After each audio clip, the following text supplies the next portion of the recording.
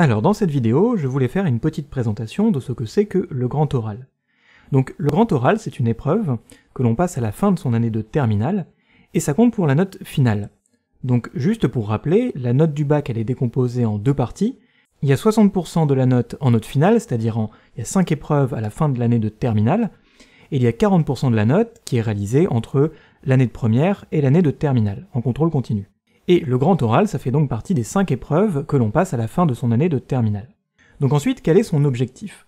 L'objectif, c'est de montrer sa capacité à s'exprimer en public. C'est-à-dire, de plus en plus, en fait, on reconnaît vraiment euh, l'intérêt de s'exprimer euh, correctement à l'oral, que ce soit dans le monde professionnel ou dans le monde académique, et donc ça, ça va vraiment être privilégié dans l'examen en terminale.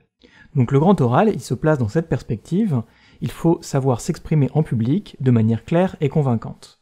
Simplement, il ne s'agit pas de s'exprimer de manière claire et convaincante sur euh, n'importe quel sujet, ça va être des connaissances liées à vos spécialités, aux spécialités que vous avez choisies, et donc a priori que vous connaissez euh, assez bien. Donc maintenant on va descendre un petit peu, pour se laisser plus de place. Ensuite, comment concrètement est-ce que l'épreuve elle se passe? Alors tout au long de l'année, vous allez préparer deux questions en lien avec vos spécialités. Donc par exemple, ça pourrait être euh, maths et physique-chimie. Et ces deux questions, vraiment, vous allez les travailler, vous allez trouver une problématique, vous allez trouver un sujet intéressant, il faut vraiment le maîtriser euh, sur le bout des doigts, non seulement pour faire quelque chose d'intéressant, mais ensuite pour pouvoir vraiment être éloquent à l'oral et proposer quelque chose qui soit vraiment euh, pertinent. Donc ça, vous le travaillerez tout au long de l'année avec vos professeurs, non seulement de spécialité, mais également avec d'autres matières, si par exemple vous pouvez euh, aborder des questions un petit peu transversales. Simplement, vraiment les deux questions, il faudra que ce soit sur vos deux spécialités. Ensuite, de ces deux questions, le jour de l'examen, le jury en choisira une seule. Donc vous ne serez pas évalué sur les deux questions, mais sur une seule. Après, concrètement, comment ça se passe le jour de l'examen? Le jour de l'examen, vous avez 20 minutes de préparation. Alors attention, vous ne pouvez pas amener de notes, ni de texte, rien du tout. Donc il faut vraiment maîtriser son sujet sur le bout des doigts, le connaître vraiment euh, profondément. La seule chose que vous pouvez faire pendant ces 20 minutes, c'est créer un support et ensuite le donner à votre euh, examinateur à la fin de l'entretien. Mais, simplement, l'examen en lui-même euh, se passe sans notes et debout. Donc pendant ces 20 minutes, ça sera vraiment un temps pour euh, essayer de maîtriser intérieurement votre sujet, pour essayer de vous faire un plan, comment aborder la question, etc. Vous préparez mentalement à votre passage devant le jury. Donc une fois que ces 20 minutes sont écoulées, l'entretien il va se dérouler en trois parties. La première partie elle va durer 5 minutes, et pendant 5 minutes, vous allez présenter tout seul votre sujet et la réponse que vous avez choisi d'y apporter.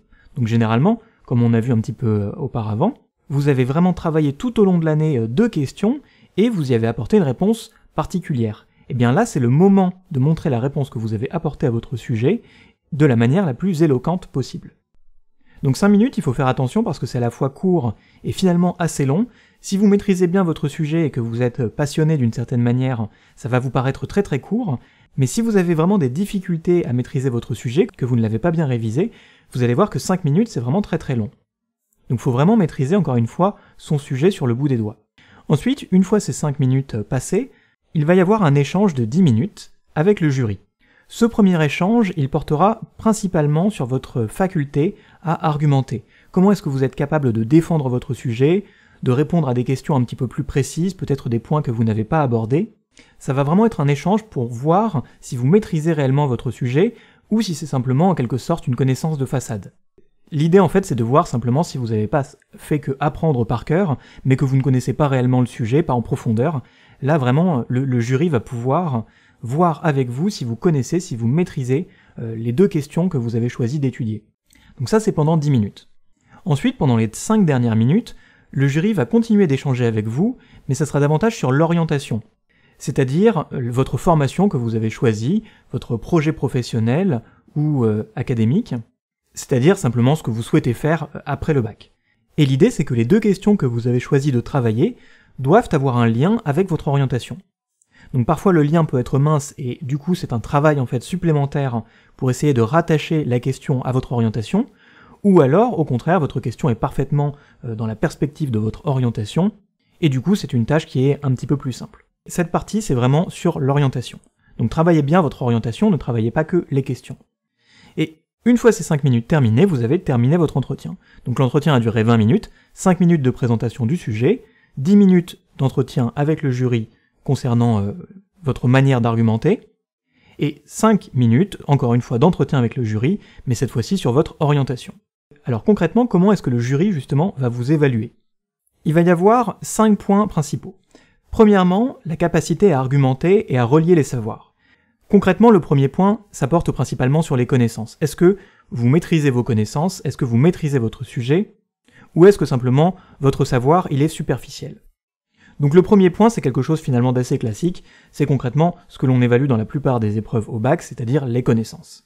Le deuxième point, ça commence déjà à être un petit peu plus euh, original, puisque ça porte sur l'expression et la clarté des propos. Donc l'idée du grand oral, c'est pas simplement de présenter un exposé de manière euh, vraiment euh, robotique, l'idée c'est de présenter un sujet de manière pertinente et intéressante. C'est-à-dire il faut savoir s'exprimer avec clarté pour vraiment intéresser son auditoire. Si vous avez des problèmes à chercher vos mots, si vous avez des problèmes à trouver des tournures, etc., c'est vraiment ça qui va être évalué dans cette partie. Ensuite, il y a l'engagement dans la parole. Donc là, c'est la capacité vraiment à, motiver votre interlocuteur, à lui montrer que votre sujet est intéressant, qu'il est pertinent, que vous savez ce dont vous parlez. Et là, il faut vraiment montrer que vous êtes intéressé pour intéresser. Puisque quelqu'un qui n'est pas intéressé, quelqu'un qui n'est pas motivé, finalement, on n'a pas envie de l'écouter, c'est pas, pas intéressant. Donc vraiment montrez votre engagement euh, au jury, à votre examinateur. Ensuite, on a la force de conviction et la manière d'exprimer une réflexion personnelle.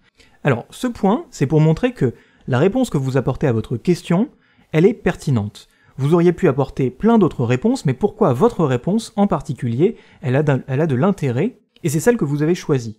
Donc il faut montrer de la conviction, il faut montrer que votre réponse, ce n'est pas simplement une au hasard, mais c'est vraiment celle qui est la plus pertinente, celle qui est la plus intéressante, et c'est celle qui méritait votre, votre exposé, votre grand oral. Et enfin, on a les motivations du candidat, c'est-à-dire non seulement les raisons qui vous ont poussé à étudier cette question, mais également les raisons qui vous ont poussé à choisir cette orientation. Et donc là, on retrouve les cinq dernières minutes euh, de l'échange avec le jury, puisque ce qui est évalué, c'est la pertinence, le lien entre votre question et votre orientation. Est-ce que vous avez simplement choisi une question au hasard ou une orientation au hasard, ou est-ce qu'il y a vraiment un lien entre ce que vous avez choisi d'étudier et votre projet pour l'avenir? Donc voilà, on en a terminé. Euh, j'espère que ça aura pu vous aider un petit peu à vous éclairer sur ce que c'est que le grand oral. Et si c'est le cas, n'hésitez pas à laisser un j'aime et à vous abonner. Et puis on se voit dans une prochaine vidéo.